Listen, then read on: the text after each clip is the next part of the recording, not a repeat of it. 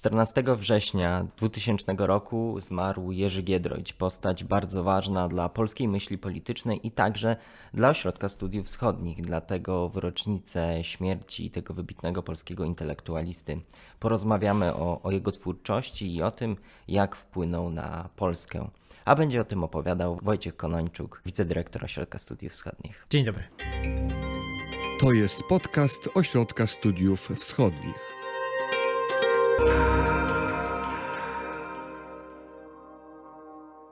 Zazwyczaj na tym kanale rozmawiamy o krajach, o problemach bieżących, politycznych. Dzisiaj rozmawiamy o Jerzym Giedroyciu. Dlaczego ten temat, dlaczego jest to postać tak ważna nie tylko dla Ośrodka Studiów Wschodnich, ale dla całej polskiej myśli politycznej i, i całej Polski nawet? Jerzy Giedroć był jednym z najwybitniejszych intelektualistów historii Polski w XX wieku. Jego wpływ, jego rola na polskie życie polityczne, na polskie myślenie polityczne jest niebagatelna. Obserwujemy ją do dzisiaj. Był to człowiek, który przez ponad pół wieku na emigracji był redaktorem naczelnym najważniejszego polskiego pisma emigracyjnego, Kultura, które wychodziło pod Paryżem. Był to Czyli człowiek... słynna kultura paryska. Jak to... Tak, nazywamy ją kulturą paryską, e, chociaż właściwie siedziba redakcji mieściła się w Maison Lafitte pod Paryżem. E, był to człowiek, który przez całe życie pracował dla Polski. Był to człowiek, który e, właściwie pozbawiony był życia osobistego. Całe jego życie było jego pracą. Właściwie wstawał rano, siadał do biurka i zaczynał pisać listy. Zostało po nim tysiące, dziesiątki tysięcy listów. Pamiętajmy, że to był okres przed, przed internetem. Wtedy jedyną możliwością komunikowania się na odległość, tym najtańszym środkiem, było napisanie listów. Oczywiście były telefony, ale one były znacznie droższe. Więc, e, więc to, co po nim zostało, to nie tylko teksty, ale przede wszystkim e, dziesiątki tysięcy listów. Więc on stworzył w, pod Paryżem ośrodek, e, taki ośrodek myśli politycznej na temat e, Polski, którego głównym celem, głównym zadaniem było działanie na rzecz odzyskania przez Polskę suwerenności. Był on bardzo ważny, bo był de facto no może nie jedynym, ale na pewno jednym z największych ośrodków intelektualnych Polski, która w tym momencie znajdowała się pod y, reżimem komunistycznym. Tak, trzeba pamiętać, że wtedy po, po, po wojnie II światowej mieliśmy kilka ośrodków emigracyjnych. Między innymi mieliśmy Londyn, mieliśmy, mieliśmy właśnie Maison Lafitte, mieliśmy też Stany Zjednoczone. Z tych wszystkich ośrodków ten pod Paryżem był zdecydowanie najważniejszy i to nie tylko jeśli chodzi o to, co wtedy powstawało, znaczy nie tylko jeśli chodzi o miesięcznik kultura, ale też to, co zostało z tego ośrodka do dzisiaj. Mhm. To, że Giedroyciowi udało się zgromadzić wokół siebie wybitnych publicystów politycznych, na czele z Juliuszem Miroszewskim, o którym chyba jeszcze za chwilę porozmawiamy, ale też wybitnych pisarzy. Trzeba pamiętać, że kultura nie przypadkiem nazywała się kulturą właśnie. Mhm. Giedroyć uważał, że kultura to jest polityka, ale prowadzona innymi środkami. Stąd też tak ważne w jego działalności było również e, publikowanie e, dzieł polskich pisarzy emigracyjnych, w tym tych największych, od mhm. Czesława Miłosza po Teolda Gombrowicza, Harlinga Grudzińskiego czy Andrzeja Bobkowskiego, wielu innych. Więc kultura nie była tylko pismem, to było bardzo żywe, bardzo prężne, bardzo dynamiczne środowisko intelektualne, ale również wydawnictwo. W ciągu ponad półwiecza swojego istnienia Instytut Literacki, bo to była ta główna organizacja, która wydawała E, kulturę, e, na czele której stał właśnie Giedroyć, e, wydała ponad 500 różnych pozycji. Z tego bardzo wiele z nich to są rzeczy, bez których właściwie trudno sobie wyobrazić polską kulturę drugiej połowy XX wieku. Mhm. Słucha nas y, wielu także studentów y, stosunków międzynarodowych, studiów wschodnich czy dyscyplin pokrewnych.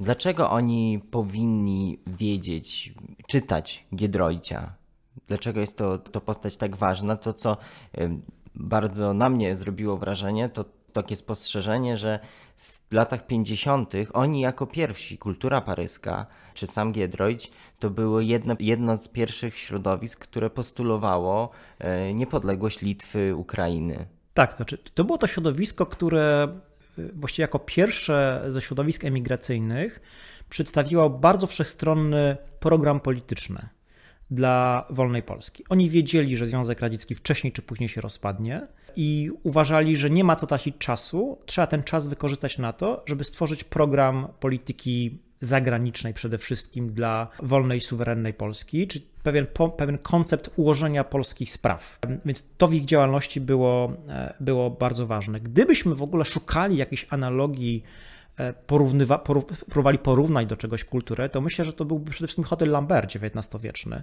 czy ośrodek emigracyjny powstały w Paryżu po e, klęsce powstania listopadowego założone przez księcia Adama Jerzego Czartoryskiego, który był taką jedyną właściwie wówczas instytucją e, nieistniejącego państwa polskiego, które przez dziesiątki lat działał w interesie nieistniejącego państwa polskiego e, przez prowadzenie działalności dyplomatycznej, ale też działalności kulturalnej. Więc mimo tego, że ja nie spotkałem się w pismach Giedroycia z żadnymi odwołaniami do hotelu Lambert, to moim zdaniem to był taki, kultura była takim hotelem Lambert XX wieku. Jeśli chodzi o skalę działania, jeśli chodzi o ambicje, jeśli chodzi o rozmach, ale też jeśli chodzi o to, jak ważną rolę przykładali do, mm, do kultury właśnie.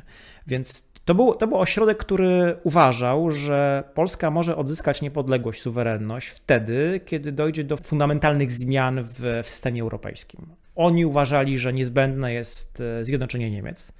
E, oni uważali, że największym zagrożeniem dla Polski jest e, rosyjski imperializm w różnych swoich przejawach, przejawach i biały, i czerwony. I oni uważali, że to jest taki trzeci główny filar, to jest konieczność ułożenia dobrych relacji z, naszymi wschodnimi sąsiadami. Takim dobrym cytatem, który w pigułce pokazuje sposób myślenia Giedroycia, było zdanie, które on sformułował w liście do Mieroszewskiego, który mieszkał w Londynie w 1952 roku. E, mianowicie Giedroć pisał do, do Mieroszewskiego: Chcemy rozsądnie dogadać się z Niemcami, bez których Europa nie może istnieć, i zlikwidować spory ze wschodnimi sąsiadami, których niepodległość będzie gwarancją stałości sfederowanej Europy, przez osłabienie imperializmu i kolonializmu sowieckiego i ewentualnie rosyjskiego. Więc mamy trzy hmm. główne punkty: konieczność fundamentalnej przebudowy systemu europejskiego, konieczność ułożenia naszych relacji z narodami, które są między nami a Rosją no i konieczność e, walki o osłabienia imperializmu rosyjskiego. I kiedy to było napisane? On to napisał niemal 70 lat temu. No to dzisiaj jest to może oczywistością się wydawać, ale wtedy na pewno to tym nie było.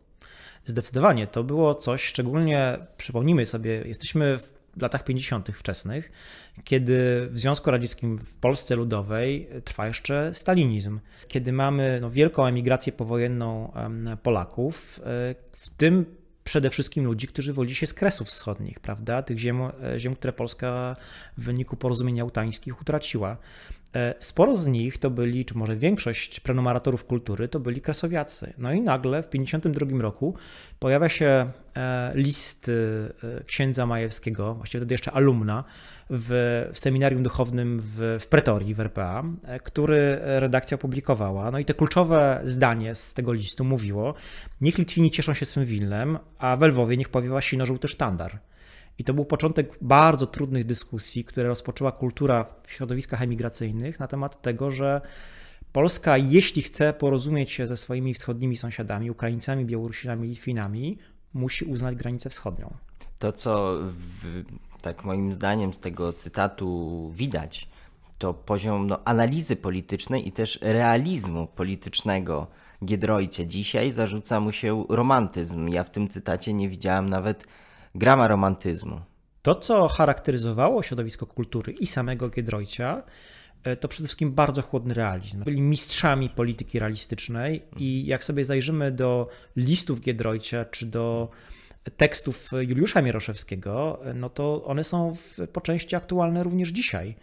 E, warto do nich zaglądać, warto je czytać e, na nowo. To środowisko, które działało z, właśnie z Maison Lafitte, ono generalnie było niewielkie. Znaczy, sama redakcja składała się dosłownie z pięciu czy sześciu osób. Poza e, Giedroyciem to byli też Zygmunt i Zofia Hercowie i Józef i Maria Czapscy, rodzeństwo. Wszyscy pozostali współpracownicy, w tym, w tym ci stali, znajdowali się w różnych częściach e, na świecie. Więc to była taka trochę wirtualna redakcja, mimo tego, że miała swoją siedzibę e, pod Paryżem. I znowu, trochę jak Hotel Lambert. Hotel Lambert wziął swoją nazwę od pałacu na wyspie Świętego Ludwika w, w Paryżu i podobnie e, kultura miała, kupiła w 50 latach dom w Maison Lafitte, który stał się, stał się siedzibą tego, tego środowiska. Więc to było środowisko, które przede wszystkim było nonkonformistyczne. Ono nie bało się formułowania idei, które szły na przekór. To, że oni w 1952 roku opublikowali list wspomniany e, księdza Majewskiego, sprawiło, że część prenumeratorów od nich odeszła. To wywołało gigantyczny skandal w, w środowisku polskiej emigracji. E, część osób się na nich obraziło. Natomiast oni przez całą swoją historię uważali, że kultura musi być miejscem wolnej, niedogmatycznej i otwartej e, dyskusji. Oni zresztą, Giedroć to kiedyś napisał, że jesteśmy skłonni zawsze zmienić naszą opinię, jeśli ktokolwiek dowiedzie nam, że popełniliśmy błąd. Więc oni się nie zamykali w swoich dogmatach, oni byli bardzo otwarci, ale zarazem to musiała być zawsze szermierka na, na argumenty. Praca Giedroycia ona była bardzo trudna w tym sensie, że on e, oczywiście miał osób, e, współpracowników, czytelników, którzy myśleli w sposób podobny jak on, podobny jak kultura, natomiast przez no, większość historii istnienia tego pisma, tego środowiska, oni byli w sporze z polskim Londynem, czy częścią polskiej emigracji w Stanach Zjednoczonych. Giedroyć to widać w jego listach e, do, do różnych osobistości. On wielokrotnie się złościł, wielokrotnie gdyby tracił, wydawało się, że tracił, tracił siłę energii. Groził, że wypisze się z tego narodu, ale zarazem potem dodawał w kolejnym zdaniu, że jednak trzeba walić głową w mur, więc ten jego upór niesamowita siła przekonania tego, że to, co robi on i to, co robi kultura, to jest słuszny kierunek, to było coś, co kierowało nim do końca jego życia. A jakie były punkty sporu z Londynem i z emigracją londyńską, czy, czy tą amerykańską? No to przede wszystkim zaczynając od kwestii granicy wschodniej. E, to był ten pierwszy, pierwszy kluczowy punkt. Giedroyć, e, Giedroyć jego współpracownicy, oni też uważali, że ten ośrodek polski migracyjny rząd w Londynie, że on wymaga demokratyzacji. Były wielokrotnie różne spory na temat tego, jak choćby skarb narodowy, który wtedy w latach 50. powstawał, jak należy nim kierować, tak? Znaczy, jakie powinny być wzorce postępowania polskiej, e, polskiej, polskiego rządu migracyjnego. E, Giedroyć też gdyby był zawsze zwolennikiem demokracji ośrodek emigracyjny w Londynie nie do końca był demokratyczną strukturą, w tym sensie, że miały tam miejsce rządy silnej, silnej ręki także generała Andersa, która aż do swojej śmierci była się taką główną postacią w środowisku emigracyjnym. Anders, mimo tego, że on jako pierwszy wydzielił fundusze jeszcze w 1946 roku na założenie Instytutu Literackiego, który powstał w Rzymie, po kilku miesiącach został przeniesiony do, pod Paryż. Mimo tego, że Anders właśnie stał u, u źródeł kultury, no to potem bardzo szybko okazało się, że ta wolna myśl E, której zwolennikiem był Giedroyć, niekoniecznie pasuje e, polskim, e, polskim emigrantom politycznym w Londynie. Mhm. I wykiełkowała w sposób, który, który no, był sprzeczny z tym, co oni myśleli, ale tak z perspektywy patrząc, to Giedroyć można powiedzieć, że wygrał, bo gdy w, Pol gdy w Polsce upadał komunizm, no mieliśmy swego rodzaju nawet konsensus, można powiedzieć. Po 1991 roku nie mieliśmy partii politycznej w Polsce, która by w parlamencie, która by podważała granicę wschodnią.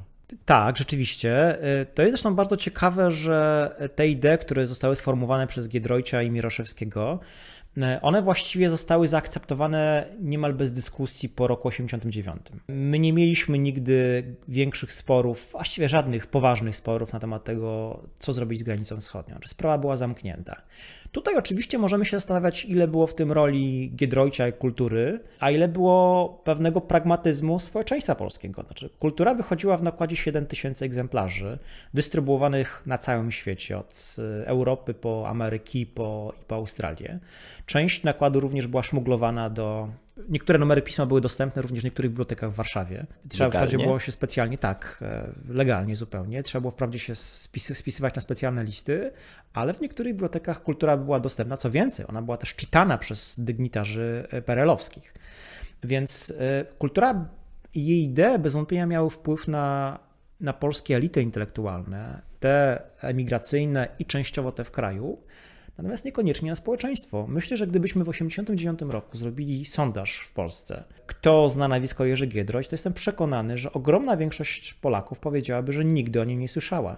To potem w III Rzeczpospolitej Wolnej nazwisko Giedroycia kultury zaczęło być propagowane, zaczęło być zaczęło postacią książki, teksty bardzo wiele. Jak gdyby Giedroć trafił pod strzechy, natomiast wcześniej wydaje mi się, że był jednak postacią w dużym stopniu anonimową. Mhm. Więc nie tylko wpływ kultury, tutaj przede wszystkim na elity intelektualne polskie, ale wydaje mi się, że trochę jednak nie doceniamy pewnego właśnie pragmatyzmu i jednak racjonalnego myślenia naszych rodaków wówczas.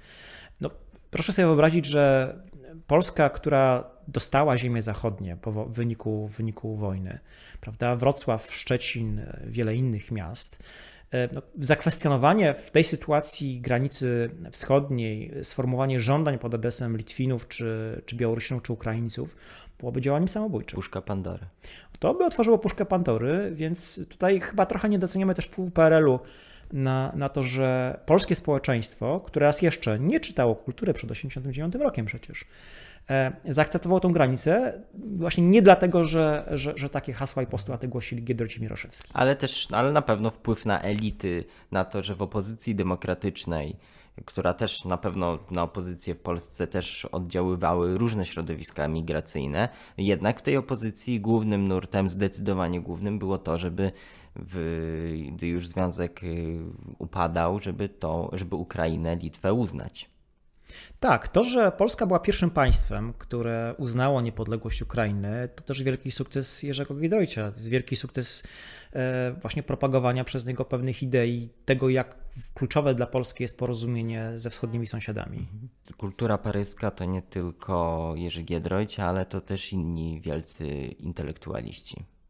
Tak, i tutaj naczelne miejsce zajął, zajął z pewnością Juliusz Mieroszewski, czyli wspomniany wcześniej londyński korespondent y, kultury. To był zresztą ciekawy, e, ciekawy podział obowiązków, jeśli tak się można wyrazić, bo to, byli, to były osoby, które były zupełnie różne. E, Giedroć urodził się w Mińsku Litewskim, obecnej stolicy Białorusi, e, w 1906 roku. On pochodził ze zubożałej rodziny arystokratycznej. Do gimnazjum chodził w Moskwie. Więc Giedroć jest postrzegany często jako człowiek wschodu.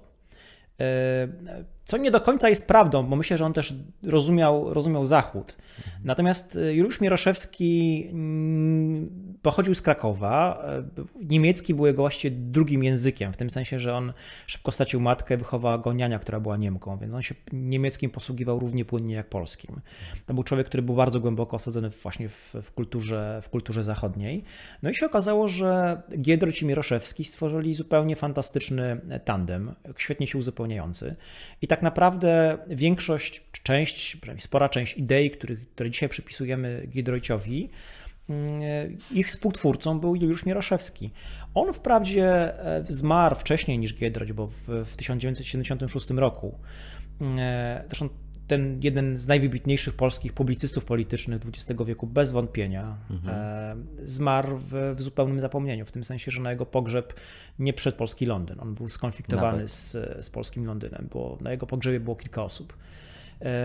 Oni się z Giedroyciem widywali wprawdzie e, dosyć regularnie i to Giedroć przyjeżdżał do Londynu, a nie odwrotnie. Mhm. Mieroszewski był dosyć konserwatywny, jeśli chodzi o wyjazdy, nie, lubi, nie lubił ruszać się z domu. Natomiast zostało po nich ponad 3000 listów i to jest niezwykle ciekawa e, lektura. Wiele z nich, może większość z nich zostało wydanych drukiem w kilku tomach, więc tutaj bardzo polecamy zaglądanie do nich. Też jest ważne, że mimo tego, że Giedroć właściwie niewiele sam pisał na, na łamach kultury, pisał głównie Miroszewski, to jego myśli, jego idee, które były formułowane na łamach pisma, one się ukuwały w długiej korespondencji właśnie z Giedroyciem. Oni potrafili kilka listów w tygodniu do siebie wy, wy, wysłać. I to jest bardzo ciekawe, co Mieroszewski napisał w jednym z listów jeszcze z lat 50. do Giedroycia, mhm. mianowicie e, pisze Juliusz Mieroszewski. Pan jest twórcą modelu, a ja jestem krawcem, mhm. który musi ów model skrajać i uszyć. No i to jest właśnie chyba kwintesencja tej bardzo ciekawej współpracy między nimi. To znaczy, piórem był Mieroszewski, on przelewał myśli, które były formułowane między Paryżem czy Maison Lafitte a, a Londynem. Y, I to, co z tego zostało, to jest właściwie taka kwintesencja myśli politycznej kultury. I to nie tylko na kierunku wschodnim. My często postrzegamy kulturę jako pewien ośrodek intelektualny, który, który sformułował pewne kluczowe idee na potrzeby polityki wschodniej ale to jest tylko połowa prawdy, dlatego że w myśli ludzi kultury, Polska miała jedną politykę. Polityka to, była, to był zestaw naczyń połączonych. Nie było polityki wschodniej i zachodniej. Obie polityki, one się uzupełniały. Więc y, trzeba pamiętać, że, że mówimy o, o, systemie naczyń połączonych, mhm. a nie tylko o, o, bardzo ważnej myśli wschodniej. Mhm. Ale można powiedzieć, że ta myśl Giedroycia, Miroszewskiego też ma swoje źródła intelektualne. Oni też mieli swoich wielkich poprzedników. Zdecydowanie tak. E, trzeba pamiętać, że te idee, które my dzisiaj postrzegamy jako sformułowane przez Giedroycia i Miroszewskiego, one, one mają znacznie głębsze korzenie intelektualne, sięgające wręcz połowy XIX wieku, na czele ze wspomnianym wcześniej hotelem Lambert i, księć, i księciem e, czartoryskim. Oni wówczas dostrzegli, że odzyskanie niepodległości przez Polskę być może będzie niemożliwe bez konieczności porozumienia się z narodami, które są między nami a Imperium Rosyjskim. I tutaj naczelną rolę e, Czartoryski, środowisko Hotel Lambert oddawało właśnie Ukraińcom. Więc pewne idee, które potem zostały uwspółcześnione przez Giedroycia i Mierszewskiego, one pojawiły się już 150 lat wcześniej. E, po e, Hotel Lambert mieliśmy przecież też powstańców styczniowych z ich ideami współpracy polsko-litewsko-białoruskiej, ukraińskiej. Potem mieliśmy, żeby tylko te największe nazwiska wymienić, mieliśmy koncepcję Józefa Piłsudskiego i prometeistów. Więc e, w sposób oczywisty Giedroć, Miroszewski bazowali na e, dokonaniach swoich wielkich poprzedników, więc ta polska myśl wschodnia, która potem została skonceptualizowana przez, przez kulturę, a następnie przejęta przez wolne państwo polskie, ona korzeniami sięga jeszcze pierwszej połowy XIX wieku i warto o tym pamiętać, że to nie tylko zasługa tych wielkich kontynuatorów e, polskiej tradycji myśli wschodniej, ale też ich wielkich poprzedników. Mhm. E, Ukraina. Dzisiaj o Giedroyciu często mówi się, że był ukrainofilem. Tymczasem jego relacje z diasporą ukraińską były trochę bardziej skomplikowane niż nam mogłoby się wydawać. Giedroyć zdawał sobie sprawę z tego, że jak kluczowe jest porozumienie polsko-ukraińskie. I rzeczywiście tutaj próbował, e, próbował współpracować z diasporą emigracyjną ukraińską, która była dosyć rozwinięta, w odróżnieniu na przykład od białoruskiej, która była generalnie bardzo słaba. Więc Giedroć od samego początku, właściwie od, od końca lat 40., podjął próbę współpracy z różnymi e, wielkimi nazwiskami w, w, w diasporze ukraińskiej. On też uważał, że to co, to, co on powinien pokazać, to pewien rachunek sumienia, jaki on, środowisko kultury, zacznie robić, jeśli chodzi o pewne błędy popełnione przez państwo polskie w przeszłości, jeśli chodzi o stosunek do mniejszości narodowych, w tym mniejszości ukraińskiej. I też e, nie jest przypadkiem, że on w latach 50. opublikował taki wielki tom e, o, o, właściwie już dzisiaj legendarnym tytule Rozstrzane odrodzenie. To była antologia literatury ukraińskiej pierwszej połowy, pierwszej połowy XX wieku, mm, który, na który pomysł wpadł sam Giedroć, na to znalazł środki, wydał to Instytut Literacki. Natomiast e, redaktorem był, redaktorem był, e, był Ukrainiec. To jest właściwie do dzisiaj takie fundamentalnie ważne dzieło dla, dla literatury ukraińskiej. Dlaczego zrobił to Giedroyć? No właśnie Giedroyć chciał pokazać emigracji ukraińskiej, że powinniśmy się porozumieć, powinniśmy znaleźć wspólny język, bo mamy wspólny strategiczny cel. I tym strategicznym interesem jest e, walka z imperializmem rosyjskim, który zagraża nam, ale zagraża też wam. Mimo tego, że czasami dzisiaj, czy po 1989 roku, myśl Giedroycia, e, idee kultury są postrzegane jako proukraińskie, czy ukrainofilskie, to jest to błąd. E, Giedroyć nie był ukrainofilem. Mhm. On, wszystko co robił wynikało z realistycznego rachunku tego, co jest dobre dla Polski. To, że on porozumiał się z, ze środowiskami emigracyjnymi ukraińskimi, to, że on formułował e, ideę o konieczności uznania polskiej granicy wschodniej, e, nie wynikało z tego, że on chciał cieszyć się poparciem ze strony Ukraińców, tylko właśnie raz jeszcze z bardzo chłodnego, z bardzo chłodnego rachunku. Mhm. Też bardzo wyraźnie pisał, że szacunek dla partnera ukraińskiego nie oznacza konieczności schlebiania mu, więc on też w kontaktach z emigracją ukraińską nie bał się podnoszenia trudnych tematów. Mhm. Takim najtrudniejszym było oczywiście, była oczywiście antypolska akcja UPA na Wołyniu i w, w, Galicji, w Galicji Wschodniej. To jest zresztą ciekawe, że Giedroyć bardzo chciał, żeby tekst historyczny na ten temat na, na łamach kultury napisał Ukrainiec i on nigdy nie znalazł y, autora. E, Niestety w diasporze ukraińskiej temat Wołynia otaczała zmowa milczenia. On e, bardzo szukał pióra ukraińskiego, które byłoby, sprawę, e, które byłoby w stanie sprawę opisać i go nigdy nie znalazł. Więc też mimo tych dobrych chęci ze strony, ze strony Giedroycia, no niestety, niestety w środowiskach ukraińskich nie zawsze znajdowało to podatny grunt. Jego najważniejszym współpracownikiem w, w tym środowisku ukraińskim był Bogdan Osadczuk, świetnie władający językiem polskim, świetnie piszący w języku polskim, który stał się takim głównym partnerem, głównym, e, głównym współpracownikiem wręcz aż do, aż do śmierci Giedroycia. I też pozostawili panowie po sobie ogromne zbiory listów. Tak, ponad 600 listów również e, po nich zostało, e, które też są świetnym, wydane też są w języku polskim, w języku ukraińskim. One są świetnym, świetnym e, źródłem, które pokazuje, jak ważna, ale też jak trudna była współpraca polska-ukraińska na emigracji po 1945 roku. Normalizacja relacji z Ukraińcami była dla Giedroycia celem strategicznym, chyba można takiego hmm. słowa użyć, ale co jest ważne i co czasami jest chyba źle postrzegane, nie w imię prawdy historycznej. I tutaj e, takim dobrym, e, dobrym cytatem, który to pokazuje, były słowa, jakie Giedroyć sformułował w latach 70. do znanego działacza emigracyjnego ukraińskiego Iwana Keldyna Rudnickiego. Mianowicie pisał redaktor kultury. Dużo jest spraw między Polakami i Ukraińcami, spraw przykrych czy bardzo ciężkich. W interesie naszych narodów leży znormalizowanie stosunków, co wymaga powiedzenia sobie w oczy całej prawdy, ale tylko prawdy.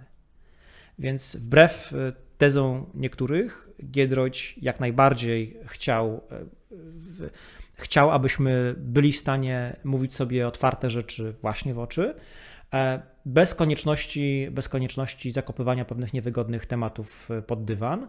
To samo dotyczyło również praw mniejszości polskiej na mhm. wschodzie, czy też kwestii polskiego dziedzictwa kulturowego, jakie zostało e, na Ukrainie, Białorusi czy na Litwie. Mhm. I tutaj, jak jesteśmy przy Ukrainie, to już się pojawiło w naszej rozmowie, ale chciałbym, żebyśmy jeszcze raz jasno przecięli wątpliwości, bo dzisiaj wiele osób sprowadza myśl Giedroycia do zdania nie ma wolnej Polski bez wolnej Ukrainy.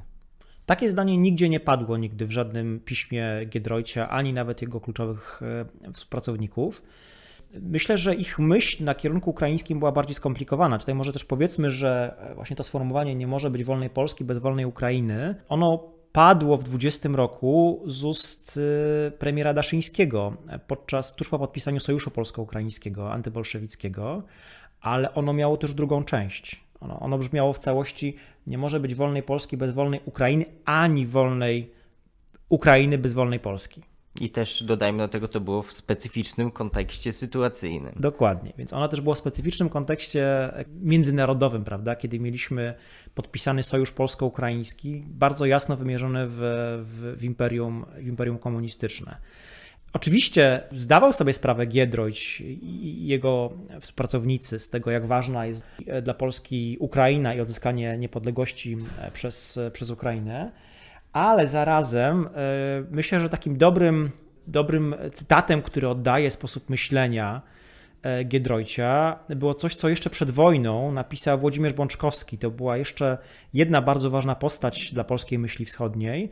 Potem też działacz emigracyjny, on po wojnie mieszkał w Stanach Zjednoczonych i przez pierwsze kilka lat po wojnie też e, współpracował z, z kulturą paryską. On wymieniał, wymienił też wiele listów z Giedroyciem.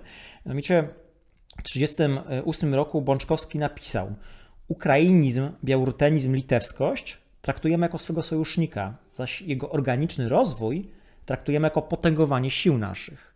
I dlatego właśnie wołamy Ukraina wolną być musi. Więc myślę, że to jest bardzo ważne e, sformułowanie. Traktujemy to jako potęgowanie sił naszych. znaczy Znowu realizm ten polityczny. Taki bardzo chłodny realizm z tego przemawiał. To oczywiście wymagało pewnych koncesji. Mówiliśmy wcześniej o kwestii granicy wschodniej. To nie zmienia faktu, że, że no, Giedroć, Miraszewski to nie byli Ukrainofile, to byli ludzie, którzy, którzy bardzo realnie patrzyli na, na sytuację. Mhm. Mamy rok 2020, mamy bardzo specyficzne, bardzo ważne wydarzenia na Białorusi. Czy dzisiaj myśl Giedroycia jest aktualna, czy możemy powiedzieć, że Ukraina, Białoruś, państwa bałtyckie są niepodległe, więc jakby intelektualnie to już jest zamknięta historia, musimy iść dalej. Czy jednak możemy coś jeszcze wyciągnąć z myśli Giedroycia w 2020 roku? Idee sformułowane kilkadziesiąt lat temu przez, przez kulturę jak najbardziej są aktualne, przynajmniej znaczna ich część. O ile jeśli chodzi o politykę zachodnią kultury, to można powiedzieć, że tutaj e, to przesłanie się, się wypełniło w sposób bardzo dla nas korzystny. Rzeczywiście doszło do fundamentalnej przebudowy systemu europejskiego, e, rozszerzenia Unii Europejskiej na wschód, zjednoczenia Niemiec, z którymi mamy dzisiaj generalnie dobre, dobre relacje. Natomiast jeśli chodzi o program wschodniej kultury, tutaj cały czas jeszcze bardzo wiele jest do zrobienia. To, na co wskazywała kultura przed 1989 rokiem, czyli ta konieczność odzyskania niepodległości przez Ukraińców, Litwinów, Białorusinów, czyli obszar ULB, jak to formułował w swoich e, tekstach e, Juliusz Mieroszewski, to się stało. To nie zmienia faktu, że po 1991 roku, kiedy rozpadł się Związek Radziecki, bardzo wiele osób wcale nie było przekonanych, czy niepodległość Białorusi czy Ukrainy się się utrzyma, na, na ile zdatne do samodzielnego bytu będą te państwa. Więc jak sięgniemy do różnych analiz politycznych, e, e, analiz strategicznych też formułowanych przez różne ośrodki intelektualne w latach 90., to się okaże, że to wcale nie było, wcale nie było oczywiste dla nich wówczas. Więc też w swoich, w swoich pismach w latach 90. Jerzy Giedroć wskazywał na konieczność polskiej pomocy dla umacniania niepodległości ukraińskiej, białoruskiej czy litewskiej. Mhm. O ile fundamentalną zmianą na, dla Polski, dla całej Europy zapewne, była, był wybuch wojny ukraińsko-rosyjskiej w 2014 roku, który no, doprowadził do niezwykle istotnych zmian w, w, w sytuacji, dlatego że powstała Ukraina, która jest skonfliktowana z Rosją, która jest przyjazna Polsce i która za swój cel strategiczny przyjęła integrację z strukturami zachodnimi. To jest w dużej części realizacja marzeń kultury. Państwo ukraińskie jest stałym e, bytem międzynarodowym, raczej niezagrożonym. Więc to wypełnia przesłanie kultury paryskiej. I myślę, że w dużym stopniu dzisiaj Giedroyć i Mieroszewski byliby z tego stanu y, bardzo zadowoleni. Oczywiście gorzej jest z Białorusią. Ostatnie wydarzenia w tym kraju pokazują, że suwerenność białoruska wcale nie jest przesądzona. Nas oczywiście cieszy to, że te protesty odbywają się pod historycznymi flagami biało-czerwono-białymi, znakiem e, herbem pogoni. To, że e, w niebywały sposób w ciągu ostatniego półtora miesiąca e, dochodzi do tego odrodzenia świadomości narodowej białoruskiej, zupełnie nie, nie, chyba nieoczekiwane na taką skalę. Więc to jest oczywiście bardzo pozytywny proces, ale to nie zmienia faktu, że droga do powiedzenia, że byt czy suwerenność Białorusi są niezagrożone, jest jeszcze daleka. Więc to przesłanie kultury na kierunku białoruskim, ale też rosyjskim pozostaje jeszcze niewypełnione. E, kluczową właściwie, kluczowym elementem, jeśli chodzi o politykę wschodnią kultury, była walka z imperializmem rosyjskim, sowieckim, właśnie w różnych, w różnych jego przejawach. No ten imperializm rosyjski obserwujemy cały czas, znaczy on nie zniknął.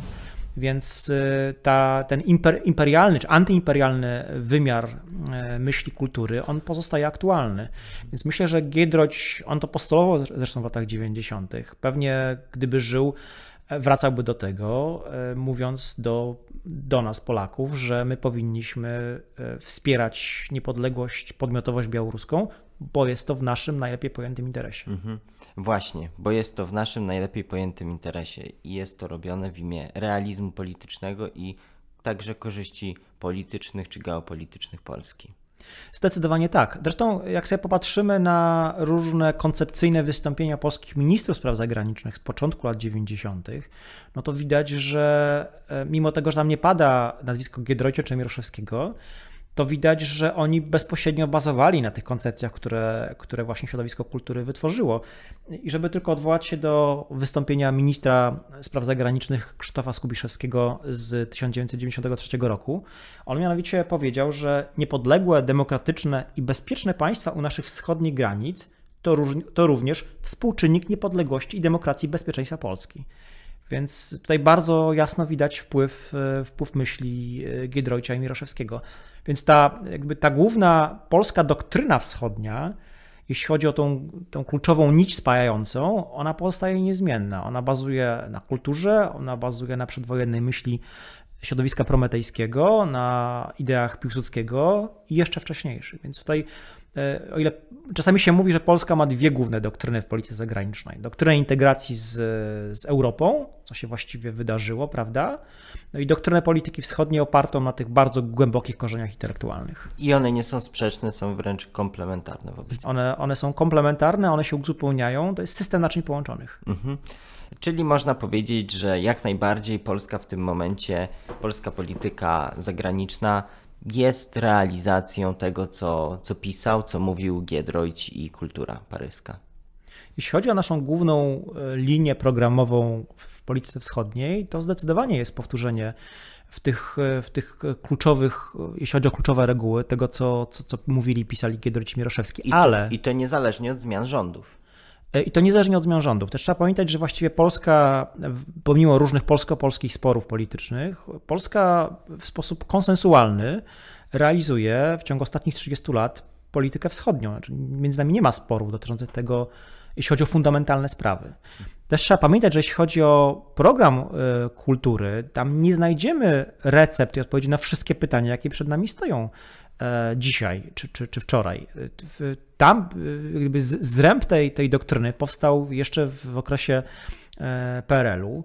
E, więc myli się ten, kto uważa, że znajdziemy tam odpowiedzi na wszystkie nurtujące nas pytania. E, program wschodniej kultury daje pewne bardzo ważne ramy, pewne, formułuje pewne kluczowe reguły, które moim zdaniem są niezmienne, bo zmienne być nie mogą, biorąc pod uwagę sytuację międzynarodową i przede wszystkim agresywną imperialną politykę rosyjską.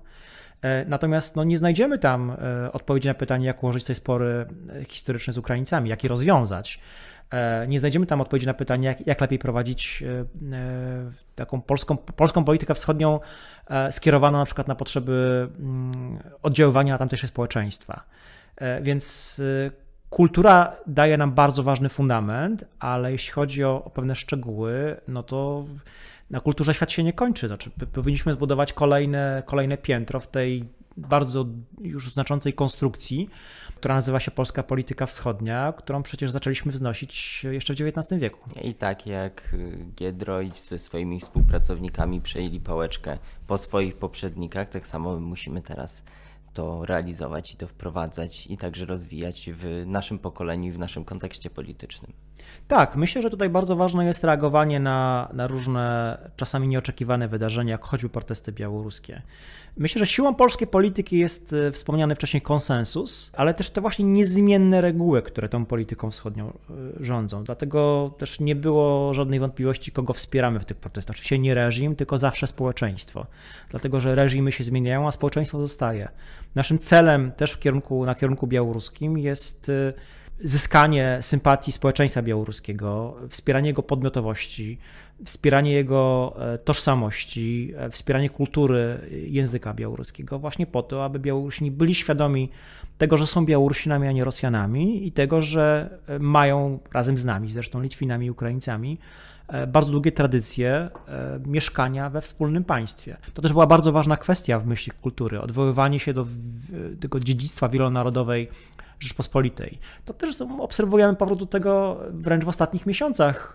Czymże innym, jeśli nie przypomnieniem o tradycjach Rzeczpospolitej jest inicjatywa Trójkąta Lubelskiego, e, czyli pewnego projektu zaproponowanego przez ministra Czaputowicza e, w lipcu e, z udziałem Litwy i Ukrainy, ale też z nadzieją, że do tej inicjatywy dołączy kiedyś, kiedyś Białoruś. Więc to jest taka próba stworzenia pewnej wspólnoty politycznej narodów, które tworzyły niegdyś e, Rzeczpospolitą. Mhm.